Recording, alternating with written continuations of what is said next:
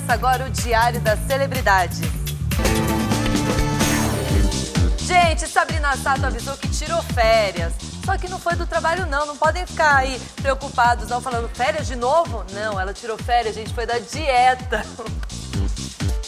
Em uma entrevista, Sabrina falou que resolveu tirar férias da dieta nos últimos três meses e explicou que férias são férias, com direito a beber e a comer de tudo.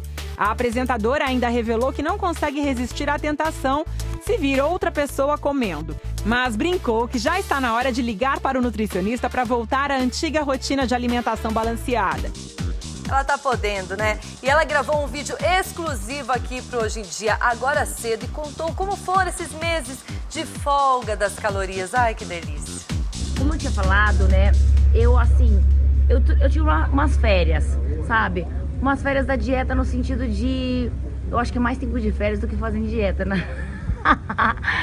é que eu gosto de comer.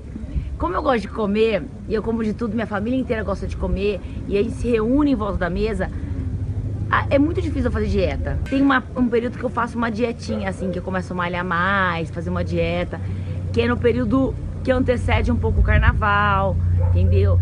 Já que eu sou rainha de bateria, que tem que sambar, tem... mas fora isso, eu procuro comer de tudo, comer normal, assim. Eu sempre procuro melhorar minha alimentação comendo algo saudável. Eu penso assim que eu tenho que fazer bem pro meu organismo. Esse corpão todo é porque ela saiu da dieta. Sabrina, pelo amor de Deus. Né? Maldade. Né? Que maldade. E olha só, gente, todo sábado, 8 e meia da noite, tem um programa da Sabrina, imperdível. E agora uma famosa cantora americana revelou detalhes sobre a luta contra a bulimia. É um transtorno alimentar. Ela sofre da doença desde os 14 anos de idade. Nicole Scherzinger hoje tem 39 anos e ficou conhecida como a vocalista do The Pussycat Dolls. O grupo acabou em 2010, mas deixou marcas nela. Em entrevista a uma revista, ela contou que a preocupação excessiva com a magreza começou na adolescência, mas o distúrbio alimentar se agravou quando ela alcançou a fama com um conjunto que explorava a sensualidade.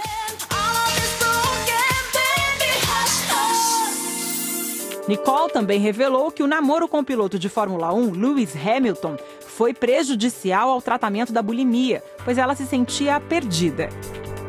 A vergonha a impedia de falar da doença para os fãs. Agora, a cantora será capa da edição britânica de uma famosa revista e apareceu com uma peruca loira. Hoje, Nicole é jurada de um programa de TV, namora um tenista famoso e se diz recuperada que bom, né? Agora imagine você ter milhões de compromissos e de repente fica sem luz. Chato, né? Mas isso aconteceu mesmo e foi com a atriz Mariana Rios. Gente. Mari tinha acabado de chegar de um evento quando teve a surpresa. A gente precisa provar 400 de looks. Olha aqui.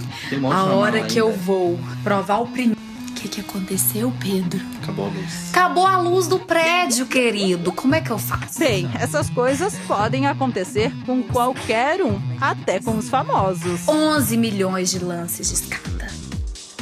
Olha, e os avós, gente, eles fazem tudo que o neto quer, não é? É verdade, eles estragam de tanto amor. E a Preta Gil não é diferente, não.